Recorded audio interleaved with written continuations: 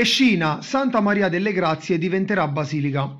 Una conferenza stampa è stata indetta stamattina dal comune di Pescina insieme alla diocesi dei Marzi, a cui hanno partecipato Monsignor Pietro Santoro, vescovo dei Marzi, il sindaco della città di Pescina Stefano Giulianella e i sacerdoti delle due parrocchie Don Giovanni Venti e Don Michele Saltarelli. La cerimonia religiosa si terrà domenica 4 dicembre a partire dalle ore 17.30 presso la Concattedrale dei Marzi Santa Maria delle Grazie. Nel corso delle celebrazioni la chiesa verrà elevata a dignità di basilica minore o pontificia.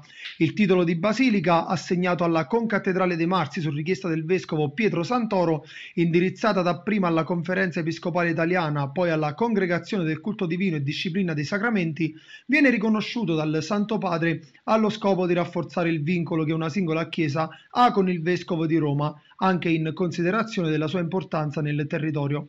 La concattedrale di Santa Maria delle Grazie infatti custodisce i resti mortali di San Berardo, cardinale e vescovo della diocesi dal 1109 al 1130, mentre la città di Pescina ha dato i natali a diversi personaggi che nella storia hanno avuto un particolare rilievo nonché nei vasti campi della cultura. A conclusione del giubileo straordinario della misericordia indetto da Papa Francesco, questo momento di preghiera e di incontro vuole accompagnare il riconoscimento ufficiale della concattedrale quale dimora del Signore del cielo e della terra.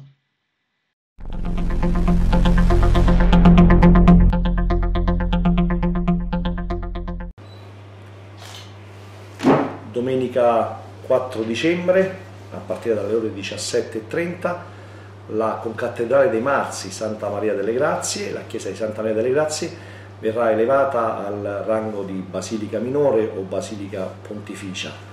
Questo è avvenuto grazie alla intercessione del vescovo dei Marzi, Sua Eccellenza Monsignor Pietro Santoro, che ringrazio personalmente, insieme ai due parroci delle chiese di Pescina, Don Giovanni Venti e Don Michele Sattarelli.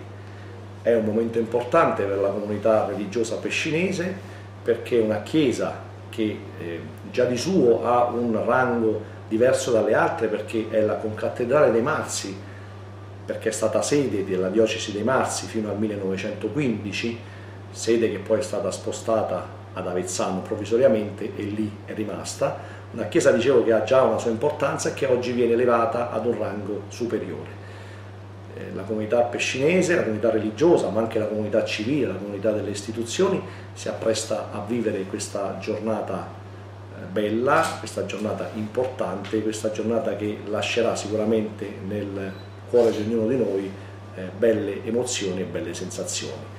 La, mh, la, cerimonia verrà officiata da Monsignor Bertelli, Cardinal Bertelli, insieme al eh, vescovo dei Marzi eh, Pietro Santoro e a tutti i parroci della diocesi. Eh, ha assicurato la presenza anche il presidente della regione eh, D'Alfonso, Luciano D'Alfonso, che sarà eh, con noi appunto per vivere insieme alla comunità pescinese questo bel momento che arriva appunto il 4 di dicembre eh, alle ore 17.30.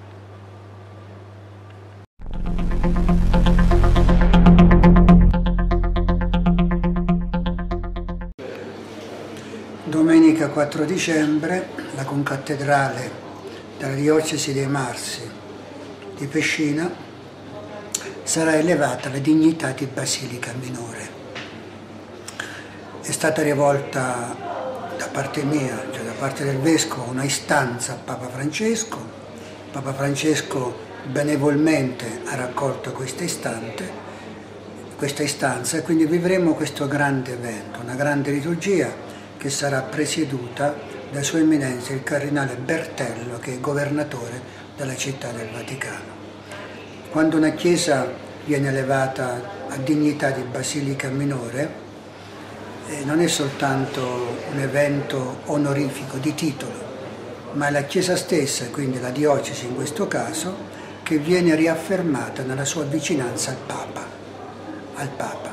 E tutto questo ovviamente è un motivo di orgoglio, un motivo di fierezza cristiana, ma nello stesso tempo esprime anche la volontà del popolo santo di Dio, della diocesi, di camminare in comunione con il Papa. Da tener conto che la concattedrale di Pescina contiene le spoglie di San Berardo, il grande vescovo del Vangelo e della carità.